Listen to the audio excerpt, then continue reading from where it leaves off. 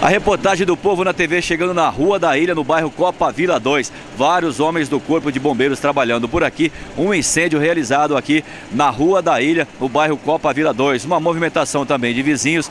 As informações é que esse incêndio pode ser aí criminoso. Uma pessoa poderia ter colocado fogo na casa de forma proposital. E a gente fala agora com a capitã Helena do Corpo de Bombeiros chegando por aqui para saber o que ocorreu por aqui, quantos homens trabalharam nessa ocorrência. O fogo estava já aparecendo pelas janelas, né? Muita fumaça, não era possível entrar sem o equipamento próprio. A gente fez a equipagem dos bombeiros e entraram para ver exatamente onde era o foco.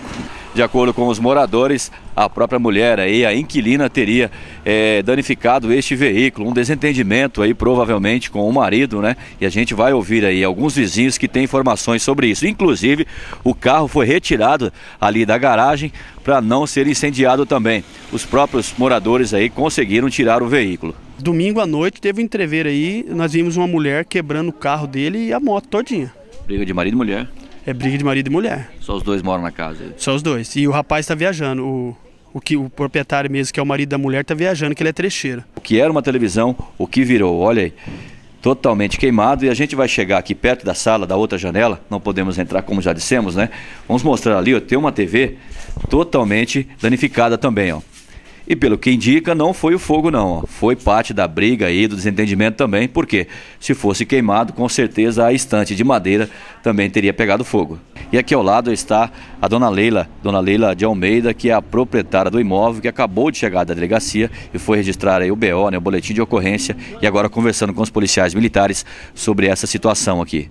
Teve uma briga no domingo à noite. Marido é, e mulher. Marido e mulher. Passou uma meia hora ou mais, ele já tinha ido embora depois de uma meia hora ou mais, e aí ela começou a quebrar a casa. Isso foi no domingo à noite. Às 11 horas da noite, ela quebrou o carro, quebrou a moto e quebrou a minha casa. Quanto tempo ela mora aqui, dona Lília? Dois meses. Já tinha algum registro, assim, problemático, sim? Não, eu não sabia de nada. Fiquei sabendo isso na segunda, é. de manhã. O proprietário ou inquilino aí paga certinho? Ele paga certinho. Uma ótima pessoa.